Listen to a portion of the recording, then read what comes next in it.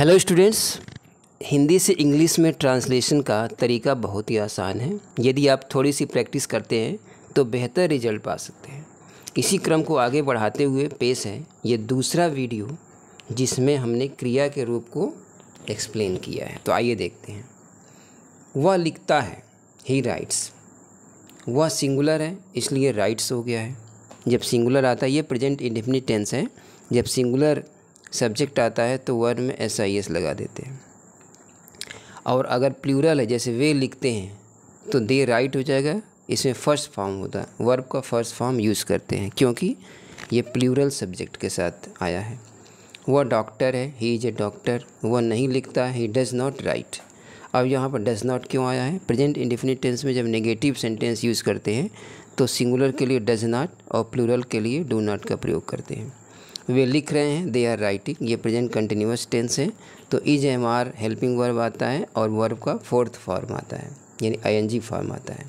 वह लिख चुका है ही हैज़ रिटेन ये प्रेजेंट परफेक्ट टेंस है तो हैज़ और हैव का प्रयोग करते हैं।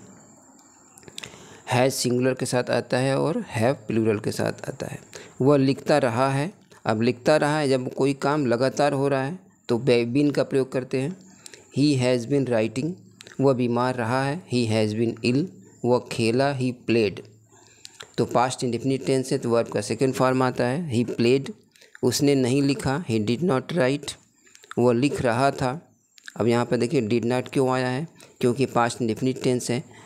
और पास्ट इंडिफिनिट टेंस में जब नेगेटिव आता है तो डिड नॉट के साथ वर्ब का फ़र्स्ट फॉर्म आता है। वो लिख रहा था ही वॉज़ राइटिंग वो लिख चुका था ही हैड रिटेन वो लिखता रहा था ही हैड बिन राइटिंग वो लिखेगा ही विल राइट वो लिखता रहेगा ही विल बी राइटिंग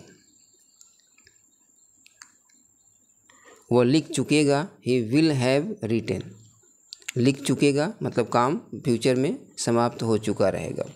वे लिख चुकेंगे दे विल हैव रिटेन वो लिखता हुआ रहेगा he will have been writing मैं लिखता हुआ रहूँगा I shall have been writing अब देखिए, जब ने एक्टिव और पैसिव वॉयस होता है तो वॉयस जो पैसिव वॉयस होता है, उसका ट्रांसलेशन कैसे होता है?